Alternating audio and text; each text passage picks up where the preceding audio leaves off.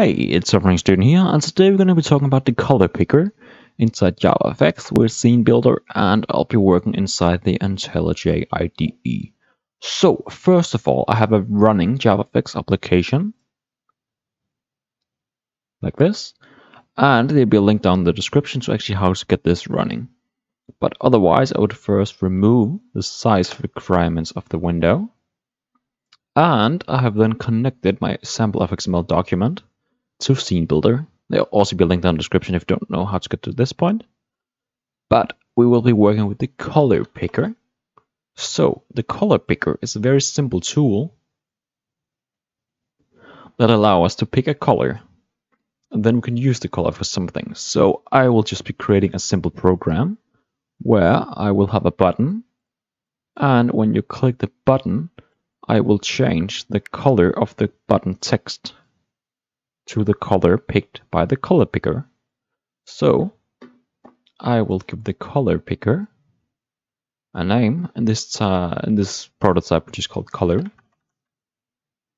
I will have the button and just call it button and on mouse clicked get color. So I'll save, view, show sample controller skeleton copy and paste inside my controller. And I will import the mouse event. So, when the button is clicked, I will get a color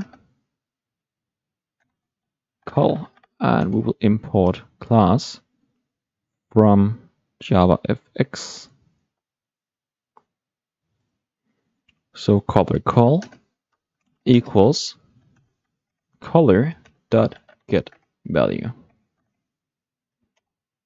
And then we would just set the button dot set fill, set text fill, and then we would just set it to the color call.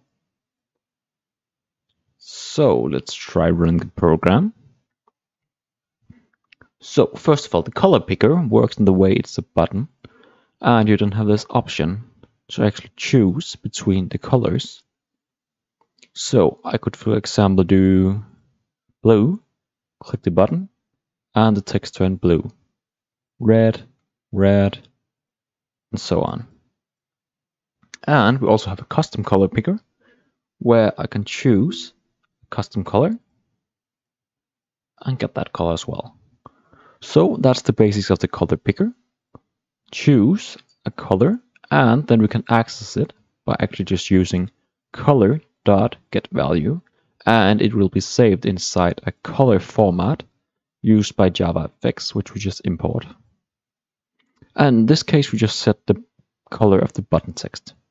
So that's the basics of the color picker. Hope you enjoyed, leave a like and subscribe and have a wonderful day.